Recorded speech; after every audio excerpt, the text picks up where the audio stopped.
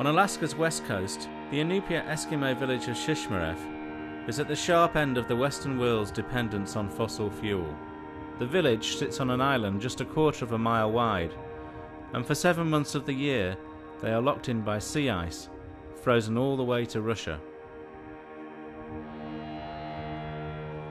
But global warming has now melted the sea ice by almost 40%, which changes everything for the people of Shishmaref.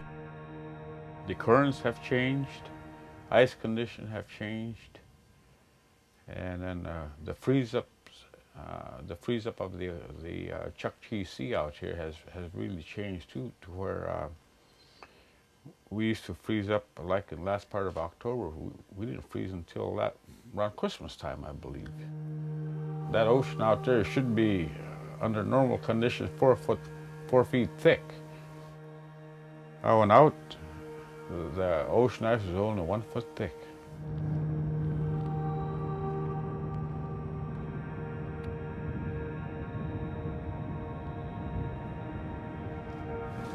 My mother, she made me a pair of polar bear skin mucklucks and these top are a wolverine.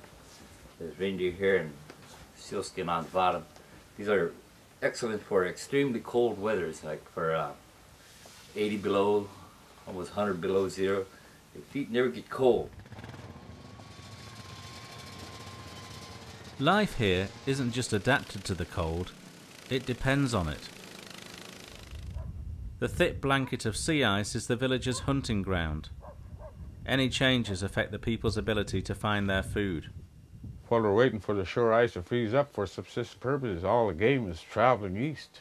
You know, we can't get out there. And it is affecting uh, the subsistence lifestyle of this community because last summer we covered thousands of miles by boats hunt, trying to get walrus, nothing except for one boat.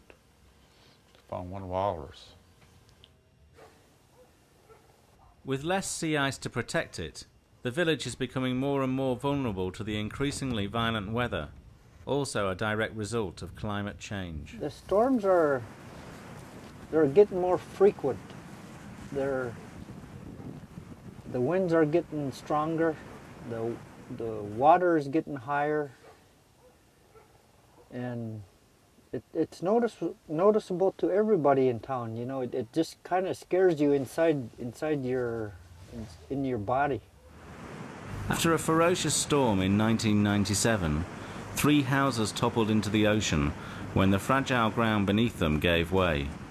Nine others were relocated by jacking them onto sledges and pulling them to higher ground. The government declared a state of emergency. We're, we're like in a panic mode because of uh, exactly how much ground we're losing.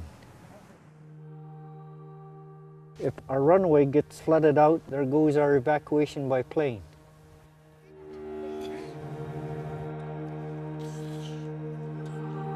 We can't predict these storms. We can't tell what's going to happen tomorrow, in other words. We just take it day by day here.